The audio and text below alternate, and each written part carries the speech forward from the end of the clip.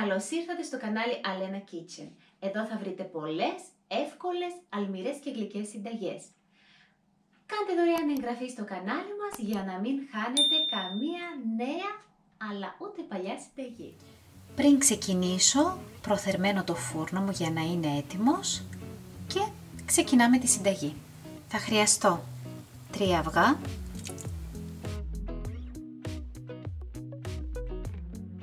120 γραμμάρια ζάχαρη, μία βανίλια, 50 γραμμάρια λιωμένο βούτυρο,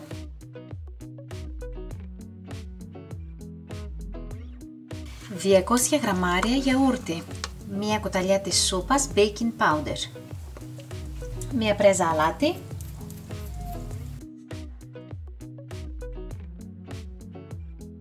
120 γραμμάρια αλεύρι.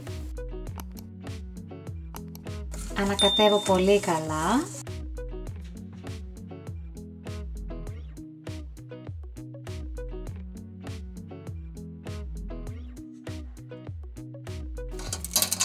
Το ταψάκι μου έχει διάμετρο 26 εκατοστά. Βάζω λίγο λαδάκι και από πάνω τοποθετώ μία λαδόκολα. Το λάδι το βάζουμε για να κολλήσει καλά η λαδόκολα και να μην κουνιέται. Μεταφέρω τη ζύμη μου μέσα στη φόρμα.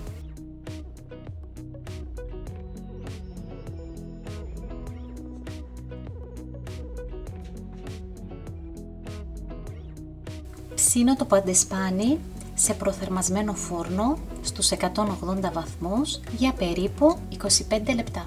Το παντεσπάνι μας είναι έτοιμο. Θα ψήσω ένα ακόμα ίδιο παντεσπάνι για να γίνει ψηλή η τόρτα μου και μετά θα σας δείξω πώς θα τη στολίσω.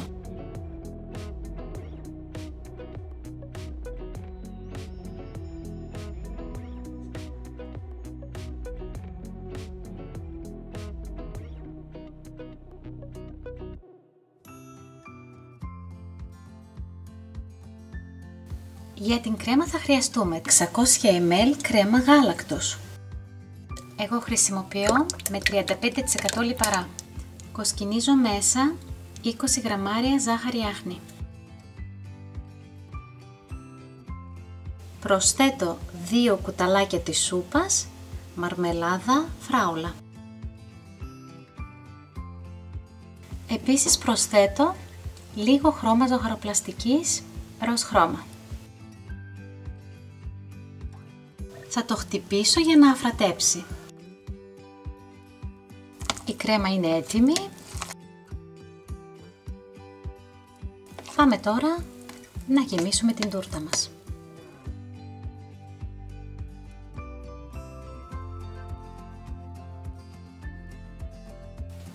Βάζω και το δεύτερο παντεσπάνι.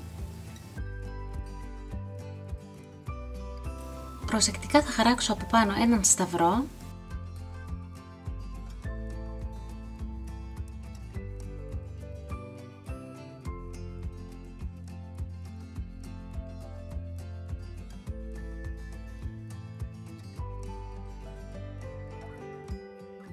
θα τοποθετήσω αυτά τα κομμάτια από πάνω.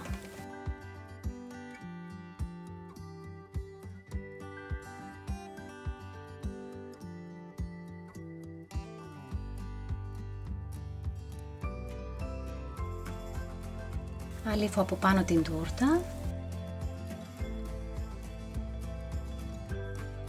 και στα πλαϊνά. Και τώρα από πάνω θα φτιάξω λουλουδάκια με κορνέ.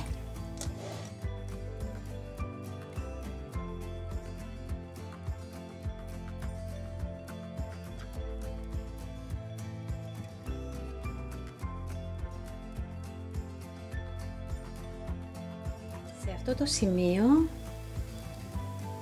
έχω σχεδόν τελειώσει την τούρτα μου και εδώ στο κέντρο θα βάλω ινδοκάριδο και ίσως κάποια καρδιά από ζαχαρόπαστα.